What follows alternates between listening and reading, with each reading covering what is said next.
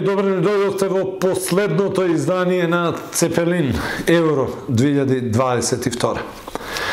Цепелин на КТВ телевизија беше специализиран проект посветен на Европското ракометно првенство кое што се одржа во а, Словачка и Унгарија. Цепелин беше проект кој што го почнавме се со една цел да ве информираме за збиднувањата и за сите настани поврзани со Европското ракометно првенство. Европското ракометно првенство заврши вчера. По 20 години пауза, Шведска дојде до петтиот златен медал на европските првенства, со што и со предходните четири беше најуспешната европска репрезентација. Актуелниот европски првак до тогаш, екипата на селекцијата на Шпанија не успеа трета година поред да стане европски првак.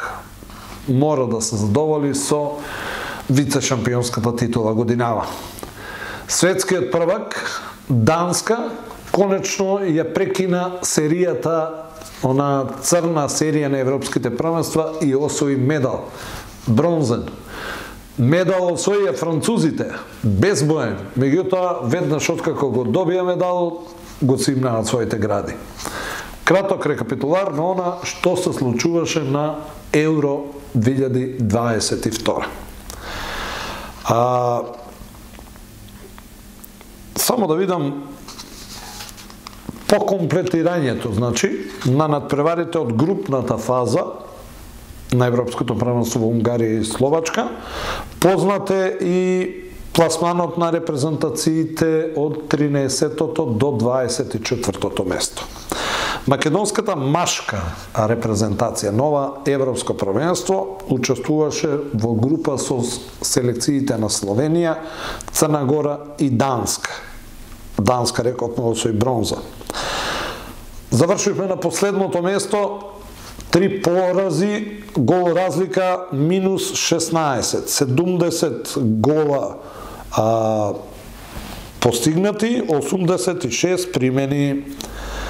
А, Ваков скор всушност беше доволен само за 22-то место, што е најлош пласман, најлош епилог на Македонија на континенталните собери до сега. А, Македонија, знаете, со ова 22 место успеа да допре само до носител на жепката за првиот бараж за Мундијалот, светското првенство, кое следната година ќе се одигра во Полска. А, едноставно, доколку ја минеме првата пречка, нашата репрезентација нема да биде привилегирана во жепката за вториот бараш. Е сега вака.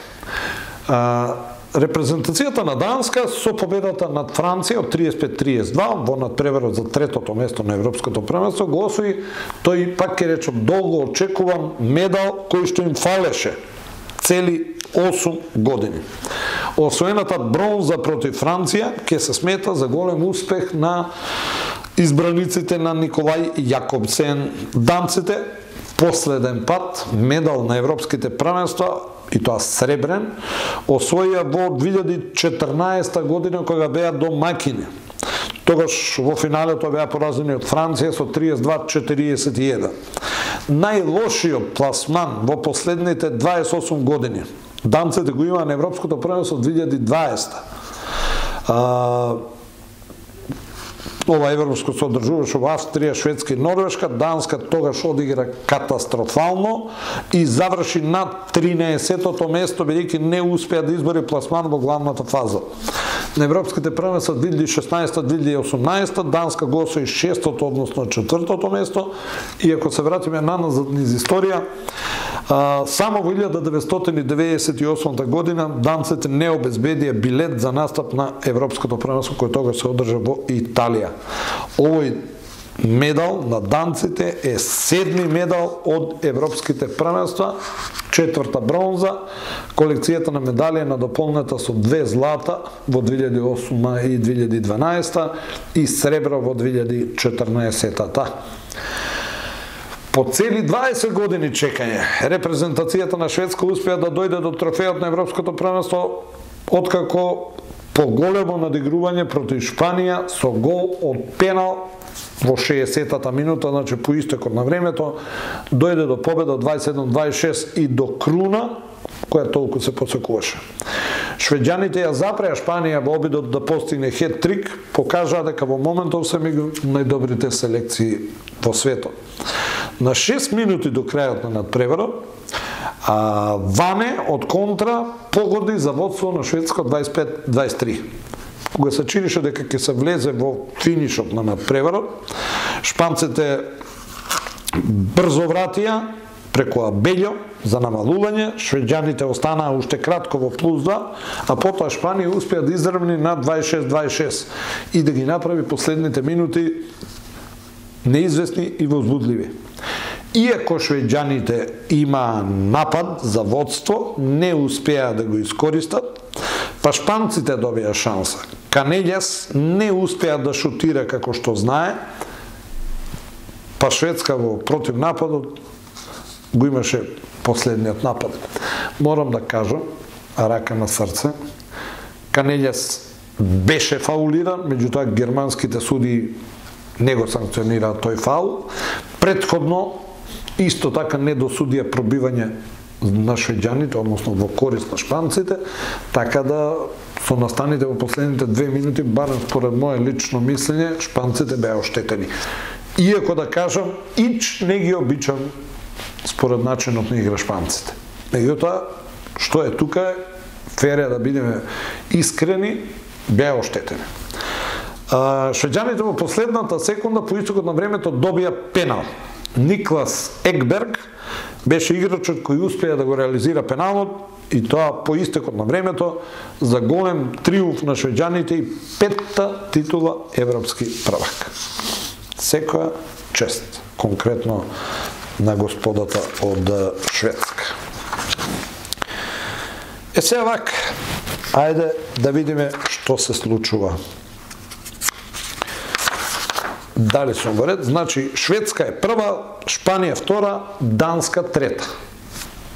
Овие три репрезентации обезбедија директен пласман на светското 2023 и европското 2024.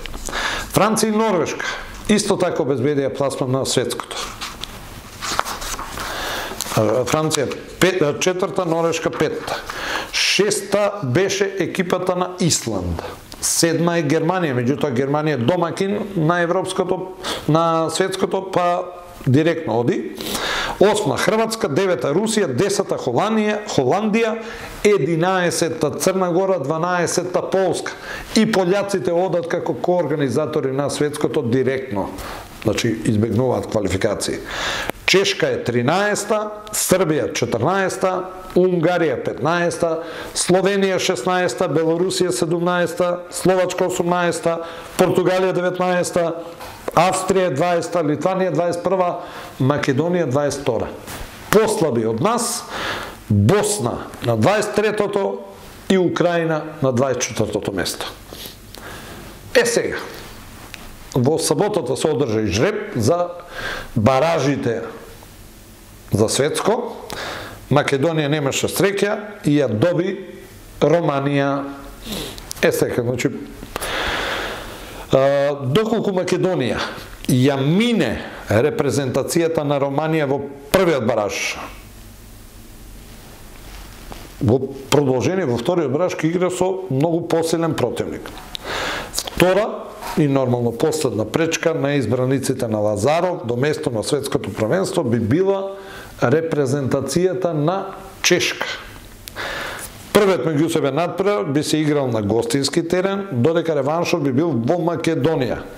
Инаку, еве да подсетам за тие што не слушна, Чешка беше дел од европското, беше елиминирана во првата рунда, но заврши на 23-тото место, пардон, на 13-тото место. Чешка 13-та, ние 22-ри. Инаку надпреварите од првиот бараж, значи Македонија и Романија се играат на 14, односно 20 март.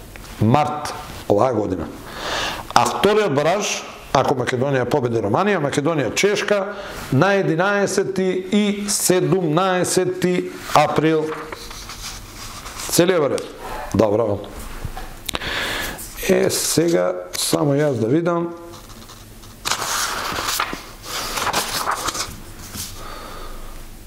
Ете ми ги нема. Знаев дека нешто ќе направам или нема да направам. Ми ги нема се оке. Тука се сите. На листата на најдобри голмани на Европското првенство Кевин Мелер. Милан Бомастар е втор. 44,6% од браните удари Мелар, Бомастар 39,1. Венсан Жерар од Франција 37,5, Владимир Цупара 34,3, Томаш Мрква 34, шестиот Виктор Кире, Киреев 33,8, е, седми е нашиот Никола Митревски со 33,3 одбрани 16 одбраните од 48 удари. Значи Никола Митрески, седми на листата најдобри голмани на Европското. На листата на најдобри стрелци. Како најдобар стрелец заврши Омар Инги Магнусон од Исланд со 59 постигнати гола. Микел Хансен од Данска постигнат 48, Аркадиуш Морито од Полска 47. 45 гола постигна Кај Смитс од Холандија, меѓутоа Кај Смитс не ги одигра последните две средби. Да ги играше, може би ќе постигнеше и повеќе. Пети е данецот Сандер Сагосен. И онака чисто за крај, само да споменеме дека прогласени се и најдобрите на Европското, оној All-Star тим, ако така можам да кажам, и најкорисниот играч, MVP-то. За MVP на турнирот ако Европското првенство може да го наречеме турнир, за MVP на ова Европско првенство прогласене швеđанецот Јим Готфридсен. Гот, Готфридсон. Дали е Јим или Джим, слушав коментаторите велаа Јим, така да и јас ќе го користам тоа. Јим Готфридсон. Тоа е најкорисниот играч беше, ако не се лажам, и пред две години најкорисен играч или на, на прошлото светско, тако нешто беше. А, најдобар одбранбен играч е уште еден Шведјанец Оскар Бергендал. И толку нема више швеđани. Ако се тие европски прваци. Шведска ја елиминираше Шпанија, а шпанците го имаат само најдоброто десно крило. Алекс Гомез. Исландјаните го имаат најдобриот голман, Виктор Гисли Халгримсон. Тоа е за исландјаните. Е сега внимавајте. Што е најинтересно. Лево крило најдобро црногорецот Милош Вујовиќ. Најдобар пикер е Јоханес Гола од Германија. И сега остана надворешните линии лев и десен бек и централен бек. Најдобар лев бек треба да кажам Микел Хансен од Данска. А најдобар десен бек уште еден данец Матијас Гицел. Данците во борба за третото место настапија баш без Хансен и Гицел. И најдобар централен бек мене не ми се свиде, ама штом така мислат тушчаците, така нека биде. Лук Стейнс од Холандија, премногу е низок, нешто ме подсетува на Врањаш, ама не е баш некоја класа, имаше многу подобри од него, така да нема, ќе се го задржам, тоа си е моје мислење и така натаму, така натаму. Значи, почувајќи од лево крило до десно крило. А, лево крило Милош Лујович Црна Гора.